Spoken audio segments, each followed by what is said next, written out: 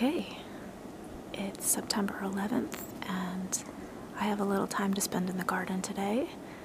I just finished um, planting some lettuce seeds and preparing some soil cells for a couple other plants, which I'll show you. But uh, the garden is uh, surprisingly still very robust, seeing that we're coming up on the end of the summer here. Uh, the only plant that I've had to take out so far is the, well, plants, the cucumber plants. Uh, but yeah, I'll do a quick tour of some of the areas that are, are sunny right now. And I might come back out later today and film like the zinnias and a lot of garden bed too when the sun is hitting it. It looks a little nicer. Uh, but for right now, you can see the cucumber plants are gone. They ran their course and they served us well.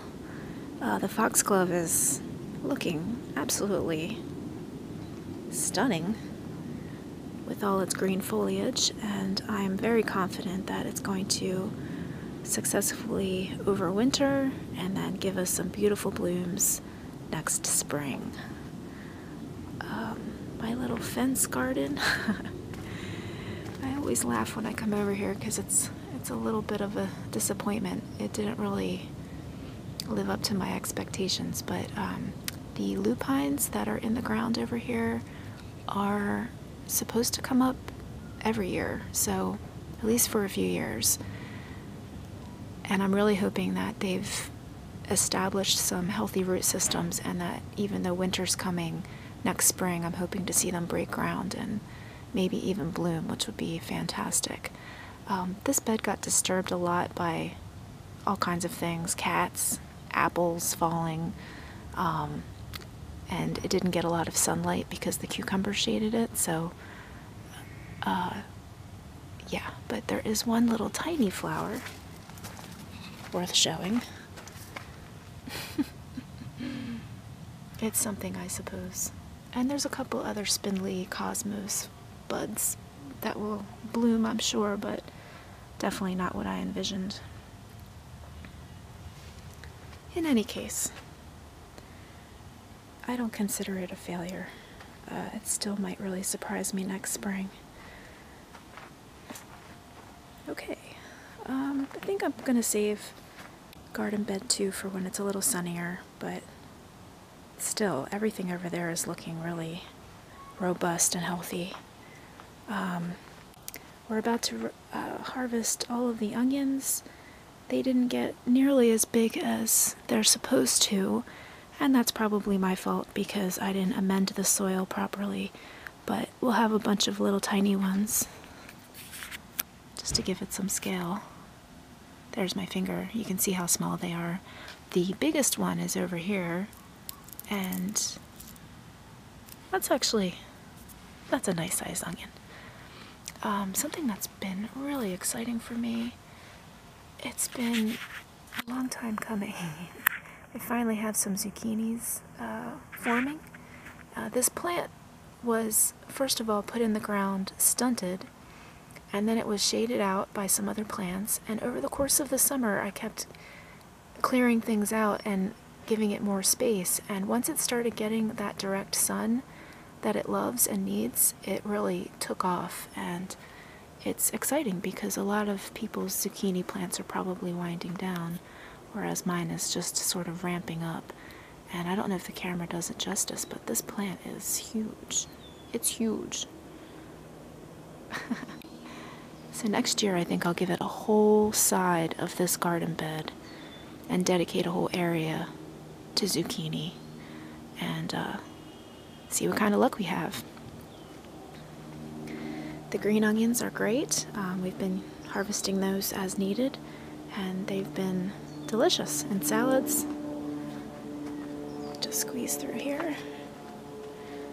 Try to get a shot of the zucchini plant. Look how big it is. It's huge. Uh, the other day, I had a chance to up pot my rosemary seedlings, and this is the one that I didn't think I was going to keep, and I'm so glad I did because the original rosemary, which started off looking so great, it just got root bound and it got hit with um, some powdery mildew and it struggled. So I pruned a lot off of it and I put it in this huge pot along with this one. But honestly, this rosemary is darker in color and the leaves are a lot more healthy. I'm sure you can see that. Um, so I'm really glad I kept it. Uh, always pays to grow more than one seed. Um, but I still have high hopes for this plant and I think it'll rebound nicely. I've been spraying any plants with powdery mildew, including the zucchini plant, with just a simple solution of water and baking soda, and that kills the spores, and that's that's great. Um, on the other side of the zucchini plant here, you can see there's another zucchini down there. There's three of them forming, and this morning I hand pollinated that flower there, so we should have a fourth zucchini forming soon, which is really exciting. Um, over in this corner, we also have the parsley, which is doing great. We've already harvested plenty off of that. It's so great to have that back in, back in the garden. Um, a couple of the kale plants are still kicking over here, albeit they are a little spindly. Um, but they're still kicking. Something really cool. If I can get back here. It's a little tight. This is the moonflower, and like mom said, if you let the bloom fall off, like here's a bloom that's just sort of like gone limp, eventually this flower falls off, and then at the very top it starts forming this really cool. Is that focusing? I don't think it is, which is a shame because it's really cool. Um, Anyway, that's the seed pod. I'm not getting it to focus, but it's all spiky and really cool looking. And, uh, yeah, I find that so fascinating. These plants have been really cool to observe. Um, we just had a really beautiful bloom the other day. And uh, the other one is over here, which also had a bloom, and it's uh, going to seed again. So I'm going to let those seed and I'll save those seeds and then hopefully grow these again next year. They've been delightful. Um, our tomato plants are doing great. I just took a huge harvest the other day. There's probably another few that are due to be picked. And then we'll be winding down. But, um, there are still quite a few. And uh, I definitely, I was touting how they don't ripen too quickly, but there's always a point where you just have a lot of tomatoes. And I'm at that point right now. Um, but I've been eating them every day, fresh, and no complaints here. I absolutely adore them. But yeah. So the tomatoes are looking good.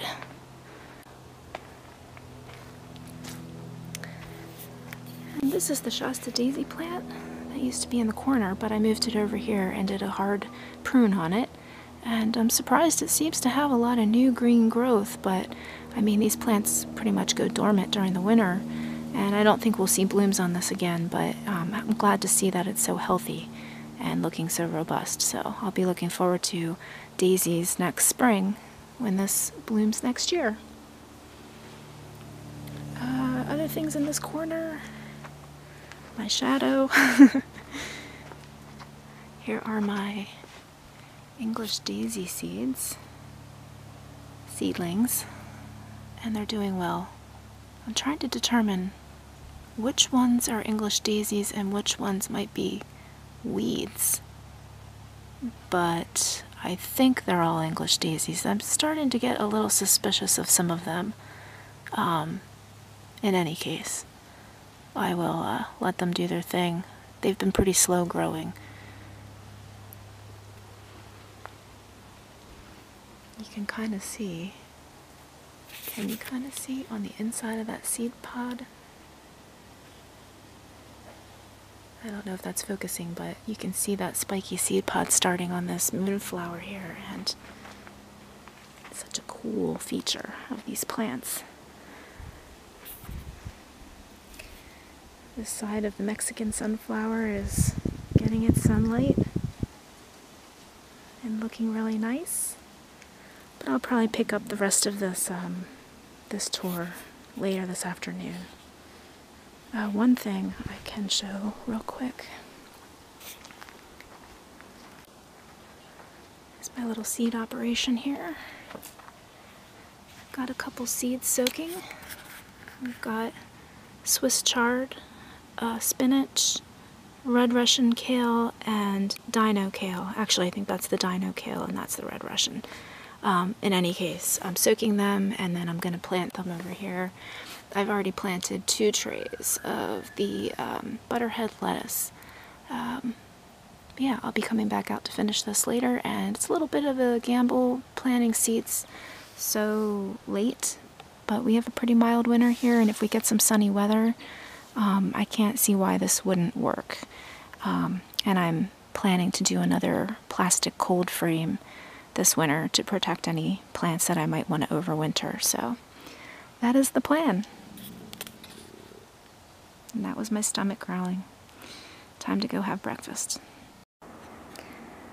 Okay, it's later in the day.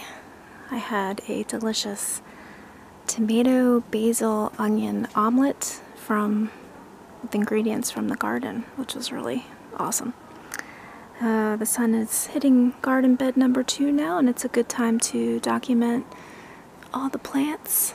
And um, I guess I'll just go straight in here to the cannabis, which is, I don't know if you can see that, but it's budding up quite nicely. We are super excited about it.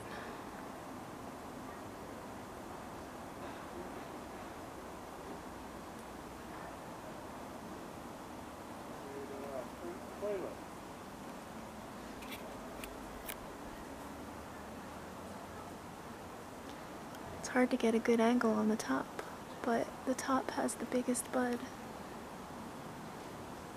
And there's two stalks.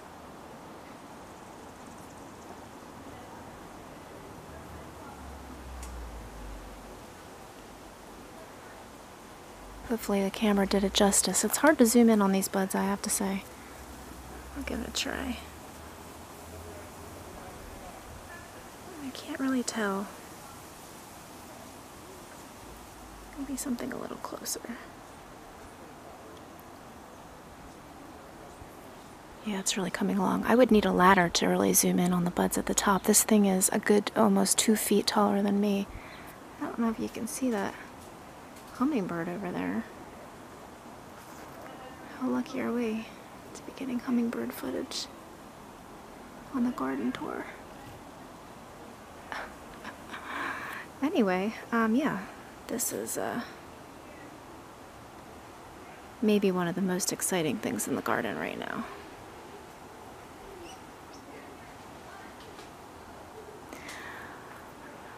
But, you know, it's hard to pick because then you have flowers like this uh, Mexican sunflower still just pumping out the blooms. It's got a ton of buds everywhere. I just went through the other day and deadheaded quite a few. I've been keeping all of them. I'm gonna see if I can zoom in on that hummingbird over there. Hard for me to tell if this camera is picking it up, but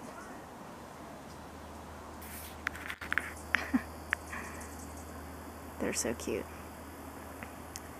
But yeah, back to the Mexican sunflower, which the hummingbirds love, by the way. It's really in its prime right now.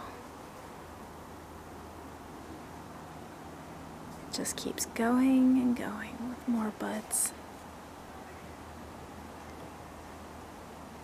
And it's a good, I would say, what is that? A good foot taller than me at this point.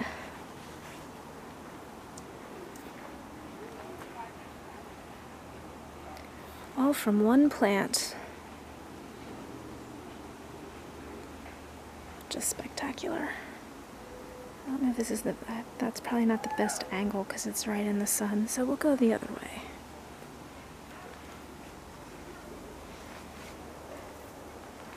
Coming around the front, we've got our Cosmo patch. Cosmos? I never know if I'm saying that right. Cosmos. Uh, plural. They are looking really beautiful right now, and um, and have been for the last few weeks.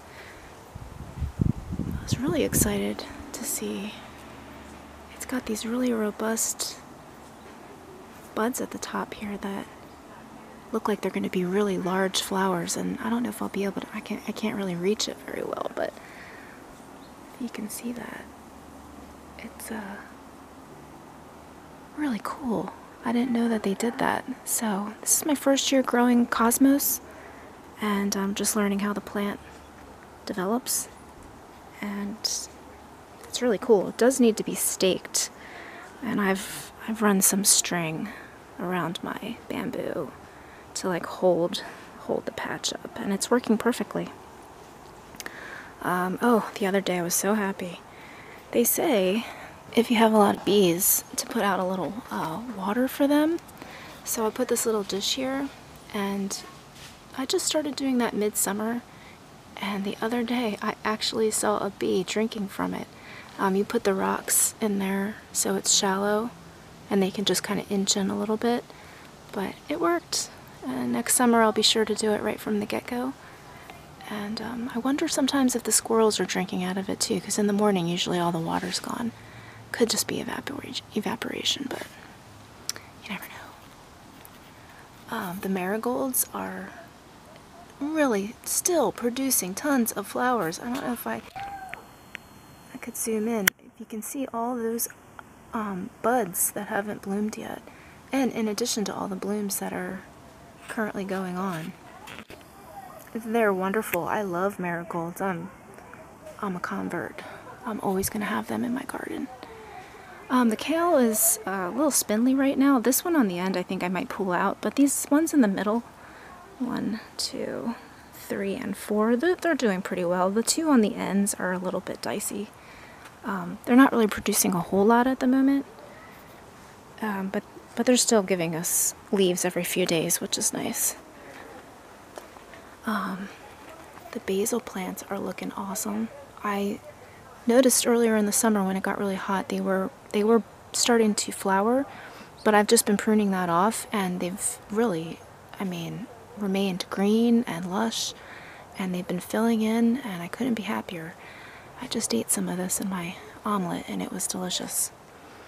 Um, over here. I just gave uh, the zinnias some water, but typically in the heat of the afternoon, these ones on the side slump over, so I always know that this patch is ready for a drink. Um, but I'll just back up a little here. You know, the, the camera doesn't do it justice, but this patch, some of the tallest blooms are a good, I want to say maybe three or four feet above my head and I can't even see the flowers because they're so high up. So it's pretty spectacular. Um, they're still producing new buds, and I've noticed as the zinnias go through the season, the buds are smaller. Um, and I did do a big deadheading of them, I don't know, a few days ago. So it'll help direct some of their energy into some of the new buds, but they're still beautiful as ever and still very robust, so. I mean, it's September 11th, so that's not bad. I'm sure they're gonna go. Oh, just hold that thought. There's a, there's a hummingbird. Oh, how beautiful. I love these guys.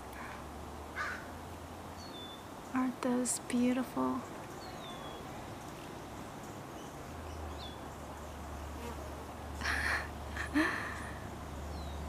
Think our neighbors put out a hummingbird feeder, so we have some resident hummingbirds that live in the area. quite a few actually, and pretty much if you come outside the garden, you're going to see hummingbirds every time, and um, they're quite fascinating to watch and beautiful all at the same time.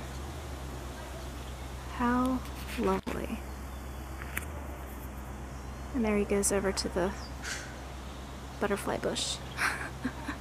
He's making his rounds. Anyway, that's the second half of the garden and back up a little bit here.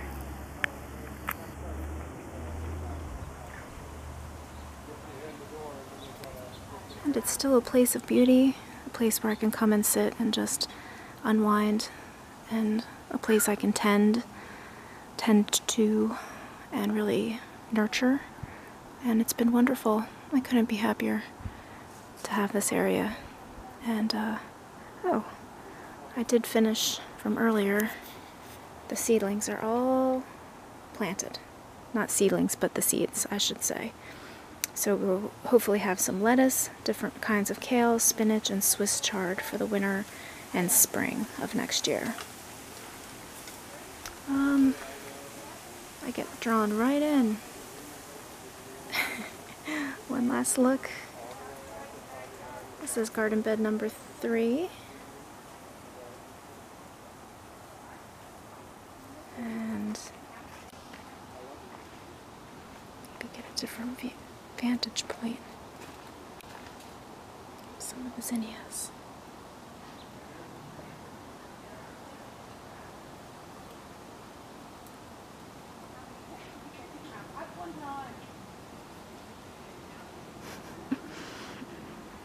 well, as hard as it is for me to hit end on the recording, I guess I'll wrap this one up maybe with one final glimpse of the tomato patch. And on that note, I love you guys and talk to you soon.